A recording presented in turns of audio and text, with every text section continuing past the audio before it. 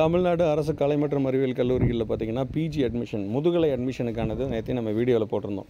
டிஎன்ஜிஏஜி டிஎன்ஜிஏஎஸ்ஏங்கிற டிஎன்ஜிஏஎஸ்சிங்கிற வெப்சைட்டில் தான் வந்து கால்ஃபர் அதுக்கான அட்மிஷனுக்கு நீங்கள் அப்ளை பண்ண போகிறீங்க இந்த வீடியோவில் வந்து அதை எப்படி அப்ளை பண்ண போகிறோம் அப்படிங்கிறத ரொம்ப ஷார்ட்டாக பார்க்க போகிறோம் so government arts and science காலேஜில் பார்த்தீங்கன்னா அப்ளிகன்ஸ் வந்து பிஜி அப்ளிகேஷன் இதை ஃபில்லப் பண்ணுறதுக்கான ஃபா ஃபார்மேட்டுன்னு பார்த்தீங்கன்னா ஏற்கனவே நம்ம அதுக்கான இதெல்லாம் சொன்னதுனால டேரெக்டாக ரிஜிஸ்ட்ரேஷன் மோடுக்கு போயிடுவோம். ரிஜிஸ்ட்ரேஷன் மோடுங்கிற நீங்கள் டேரெக்டாக கிளிக் பண்ணிங்கன்னா அதில் வந்து இம்பார்ட்டன்ட் டேட் என்னங்கிறது இதில் கொடுத்துருப்பாங்க. ஸோ இதில் வந்து நீங்கள் இதெல்லாம் படித்து பார்த்துட்டு டேரெக்டாக லாகின் அப்படிங்கிற ஒரு ப்ராசஸ் போகணும். மொத்தம் வந்து இதில் ப்ராசஸ்ன்னு பார்த்தீங்கன்னா மொத்தம் பதினோரு ப்ராசஸ் இருக்கும். மொதல் ப்ராசஸ் என்னென்னா யூசர் ரிஜிஸ்ட்ரேஷன் அதுக்கடுத்தது லாகின் அடுத்தது personal information and fill special reservation information அதுக்கப்புறம் பார்த்தீங்கன்னா scholarship information school of study information academic information preview details choice filling complete apply payment download application so இதன்படி பார்த்தீங்கன்னா டேரெக்டாக நீங்கள் அப்ளை பண்ணும்போது முதல்ல உங்களோட பேர் எடுத்தோடனே பார்த்தீங்கன்னா உங்களோட டென்த்து டுவெல்த்தில் உங்களுக்கு என்ன டிசியில் எப்படி இருந்துச்சோ அது மாதிரி இருந்து அப்புறம் உங்கள் ரெஜிஸ்டர் யூஸ் பண்ணுற ரெகுலராக யூஸ் பண்ணுற mobile number email ID email ஐடியை உறுதி பண்ணிவிட்டு அதை கன்ஃபார்ம் பண்ணிவிட்டு அப்புறம் டேட் ஆஃப் பர்த் அதுக்கப்புறம் உங்களோட பாஸ்வேர்டு பாஸ்வேர்டை வந்து நீங்கள் கன்ஃபார்ம் பண்ணிக்கணும். இதுக்கப்புறம் பார்த்தீங்கன்னா நீங்கள் அதை போட்டதுக்கப்புறம் இந்த கொடுத்த டீட்டெயிலெல்லாம் கரெக்டாக சேவ் பண்ணிக்கிட்டோமா அப்படின்னு கேட்கும் சேவ் பண்ணிக்கிறேன்னு கொடுத்துக்கலாம். அதுக்கப்புறம் பார்த்தீங்கன்னா டேரெக்டாக ஒரு ஒன் டைம் ஓடிபி வரும். ஸோ நீங்கள் அது உங்கள் மொபைல் நம்பர் இல்லைனா உங்களோட இமெயில் ஐடி ரெண்டுக்குமே இந்த ஓடிபி வரும். இதை நீங்கள் போய் சப்மிட் பண்ண சப்மிட் பண்ணிக்கணும். அதுக்கப்புறம் நீங்கள் கொடுத்த யூசர் நேம் உங்களோட மெயில் அட்ரஸ் மெயில் அட்ரஸ் உங்களுக்கு யூசர் நேம் ஆகும். பாஸ்வேர்டு வந்து என்ன நீங்கள் ரிஜி நீங்கள் க்ரியேட் பண்ணீங்களோ அதை போட்டு லாகின் பண்ணிக்கணும். போட்டோடனே பார்த்தீங்கன்னா உங்கள் பர்சனல் இன்ஃபர்மேஷனை கேட்கும். அதுலேருந்து நீங்கள் உங்களோட complete detail like communication address gender date of birth nationality permanent address religion name of the community எந்த state district taluk communication for uh, உங்களோட அட்ரஸ் எல்லாமே வந்து டிஸ்ட்ரிக் வரைக்குமே நீங்கள் போட்டுடணும் இதில் உங்கள் நேம் உங்கள் name of the parent communication and per permanent address state taluka district அதுக்கப்புறம் பார்த்தீங்கன்னா communication Aadhaar address pincode native civic status date of birth உங்கள் மதர் டங் நேஷனாலிட்டி ரிலிஜன் இதெல்லாம் ரொம்ப கேர்ஃபுல்லாக போடுங்க. அது மாதிரி ஆதார் வந்து ஆப்ஷனல் தான் அப்படின்னு கொடுத்துருக்காங்க. Name of the community subcaste இதுவும் ரொம்ப முக்கியம்.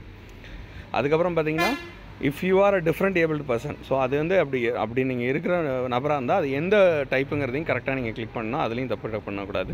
அது மாதிரி என்சிசியில் நீங்கள் சர்டிஃபிகேட் வச்சுருக்கீங்க என்சிசி ஹோல்டர்ஸாக இருந்துச்சுன்னா எஸ் இருந்துச்சுன்னா அதுக்கான விஷயத்தில் என்னென்னு கொடுக்கணும். அது மாதிரி பார்த்தீங்கன்னா children widows of eligible personnel of security forces அப்படிங்கிறது இருக்கும். அதுவும் நீங்கள் அப்படி எலிஜிபிள் இருந்துச்சுன்னா அதை கரெக்டாக கேர்ஃபுல்லாக போட்டுங்க.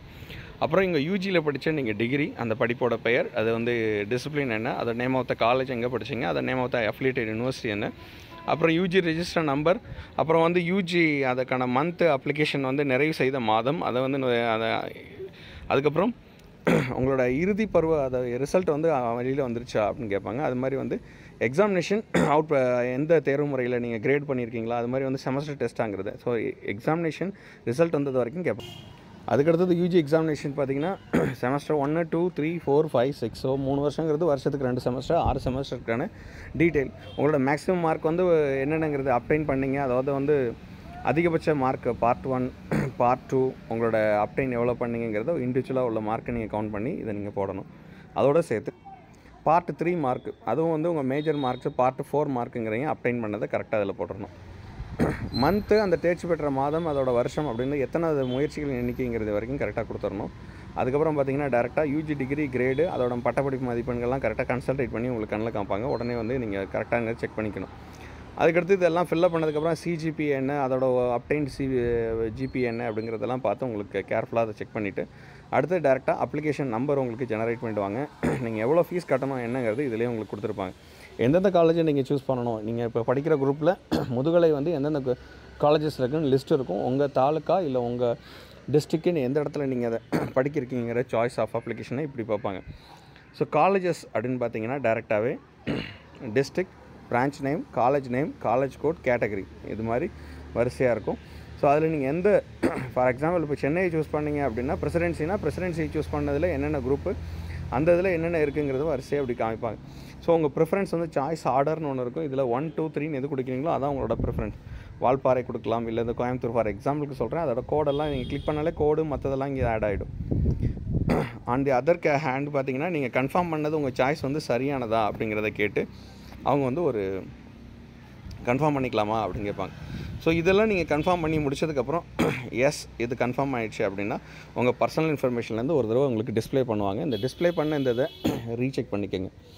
உங்கள் நேமில் எதுவும் சேஞ்ச் இருக்கா? இல்லை வேறு ஏதாவது டேட்டா பர்த்து நீங்கள் கொடுத்த டேட்டாவில் இல்லை? நீங்கள் என்னென்ன டேட்டா கொடுத்தீங்களா இன்க்ளூடிங் அட்ரஸ் உங்கள் மொபைல் நம்பர் ஆக்சுவலாக நீங்கள் கரெக்டாக போட்டதுக்கப்புறம் தான் உங்களுக்கு இது உள்ளே வரும்.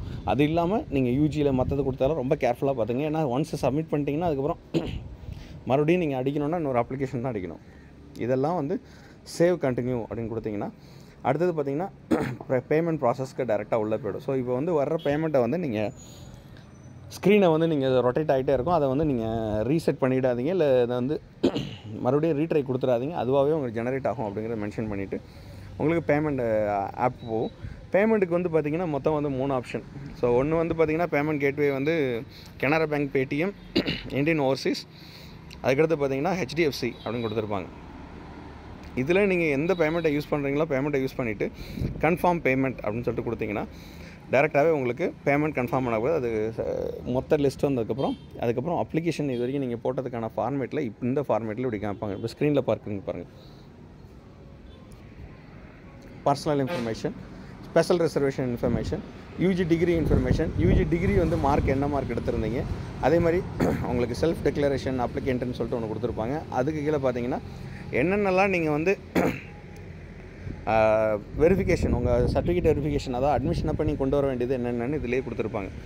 Like transfer certificate tenth mark sheet twelfth mark sheet UG degree UG degree consolidated mark sheet permanent community certificate income certificate special reservation sports and relevant certificate special reservation for ex serviceman and relevant அந்த special reservation blindness and low vision அப்புறம் வந்து NCC C certificate holders மட்டும். So இது வந்து காலேஜுக்கு வந்து என்சிசியில் வந்து சி ஹோல்டர் மட்டும். பிரிண்ட் அவுட் ஆஃப் காப்பீஸ் இதெல்லாமே நீங்கள் பிரிண்ட் அவுட் கையில் எடுத்து வச்சுக்கணும். ஃபோட்டோ காப்பீஸ் நீங்கள் எடுத்துகிட்டு வந்தீங்கன்னா அட்மிஷன் அப்போ இது கொஞ்சம் உதவியாக இருக்கும் அப்படின்னு சொல்லுவாங்க. அதே மாதிரி கடைசியில் சாய்ஸ் என்ன சாய்ஸ் கொடுத்துருந்தீங்களோ அதை எப்படி மென்ஷன் பண்ணி வச்சிருப்பாங்க. எந்த சாய்ஸ் எத்தனை காலேஜ் நீங்கள் ஒரே அப்ளிகேஷனில் எத்தனை அப்ளிகேஷன் எத்தனை காலேஜ் வேணாலும் நீங்கள் சூஸ் பண்ணலாம் அப்படிங்கிறது ஆப்ஷன் இதில் இதுலேயே இருக்கும். ஸோ இப்படி தான் வந்து ரெண்டாயிரத்தி இருபத்தி நான்கு இருபத்தி ஐந்தாம் கல்வியாண்டிற்கான முதுகலை அரசு கலை மற்றும் அறிவியல் கல்லூரிகளில் அப்ளிகேஷன் போடுறதுங்கிறது இப்படி தான் இந்த ப்ராசஸ் வழியாக தான் ஸ்டெப் பை ஸ்டெப்பாக நீங்கள் அப்ளிகேஷன் ப்ராசஸ் பண்ண முடியும்.